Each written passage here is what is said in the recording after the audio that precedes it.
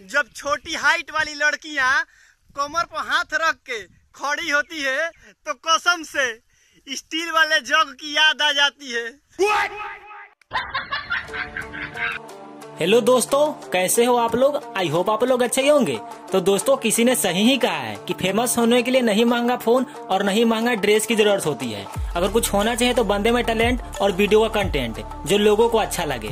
तो दोस्तों, ऐसे ही दुनिया से उभरते हुए श्रवण कुमार आज एक गाँव के लड़के ने टिकटॉक और बीगो पे मिलियनों में फ़ैन बेस बना लिए हैं। दोस्तों, इनको सिर्फ़ इंडिया के ही नहीं, बल्कि पाकिस्तान बांग्लादेश और भी बहुत सारे कंट्री के लोग इनको जानते हैं। जब सरवर कुमार अपना वीडियो बनाते हैं तो नहीं देखते हैं कि मैं वीडियो में क्या बोलने वाला हूँ और कहाँ हूँ। वो ऐसे ही वीडियो बना देते हैं और जब वीडियो को टिकटॉक और बीगो पर अपलोड करते हैं तो उनकी वीडियो में लाइक और व्यू लाखों में मिलते हैं। तो दोस्तों, आज की इस वीडियो में हम इसी सरवन कुमार के लाइफ स्टोरी के बारे में बात करने वाले हैं और इस वीडियो के लास्ट तक हम सरवन कुमार के इनकम के बारे में ही बात करेंगे।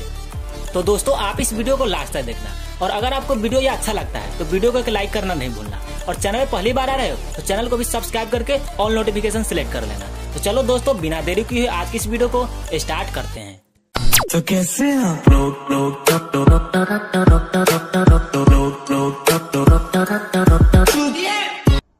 कोलगोने के ठेले पर रस पीते टाइम हार्ट अटैक आते आते बचा जब एक महिला इम्प्रेशन झाड़ते हुए बोली हे ब्रो गिव मी करिया नमक हो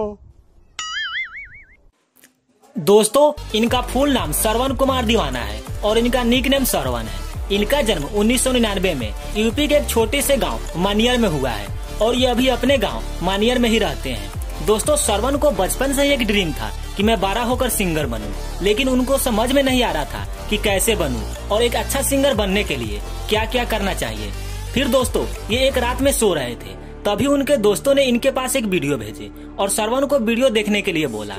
इनके दोस्तों ने टिकटॉक पे डिविट वीडियो बनाकर सेंड किए थे। फिर सरवन को वीडियो काफ़ी अच्छा लगा और पूछने लगे कि ये कैसे किए हो। तब इनके दोस्तों ने टिकटॉक के बारे में बताए तब सरवन ने भी टिकटॉक पे वीडियो बनाना शुरू कर दिया इन्होंने अपना अकाउंट टिकटॉक पे अक्टूबर 2018 में बना और वीडियो बनाकर अपलोड करने लगे। लेकिन कुछ दिनों तक उनका वीडियो वायरल नहीं हुआ। फिर एक दिन सरवन ने अपने खेत में गेहूँ काट रहे थे। तभी उन्होंने बिल्कुल भी अपने देसी स्टाइल में गेहूँ काटते हुए एक वीडियो बनाए और रात में सोने से पहले उस वीडियो को टिकटॉक पे अपलोड कर दिए। और जब सुबह जग कर देखे तो उनकी वीडियो में लाइक और व्यू लाखों में मिले हुए थे। फिर सरवन को काफ़ी खुशी हुई और वो सोचने लगे कि एक ही दिन में मैं 10 या 15 वीडियो बनाकर अपलोड कर दूँ जिससे कि मेरा सभी वीडियो वायरल और दोस्तों सरवन उस टाइम बहुत ज़्यादा खुश हुए थे। तभी से वो अपना वीडियो बिल्कुल देसी स्टाइल में बनाने लगे जिससे कि लोगों को भी काफ़ी अच्छा लगने लगा। दोस्तों सरवन अपनी वीडियो में बिल्कुल देसी तरह से फनी वीडियो बोलकर लोगों को हंसाते रहते हैं। दोस्तों, आज यही कारण है कि इनके टिकटॉक पे 18 लाख से ज़्यादा फॉलोअर्स हैं। तो दोस्तों, अगर सरवन कुमार के इनकम के बारे में बात करें तो एक दिए गए इंटरव्यू में बताए थे कि मुझे टिकटॉक से अभी तक एक रुपया भी नहीं मिला है।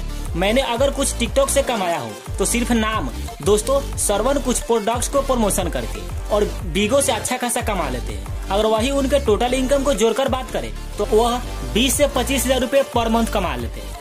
ओ सनम ये बैग लेकर कहाँ जा रही हो? मुंबई जा रही हो क्या? लाल किला देखने, आ?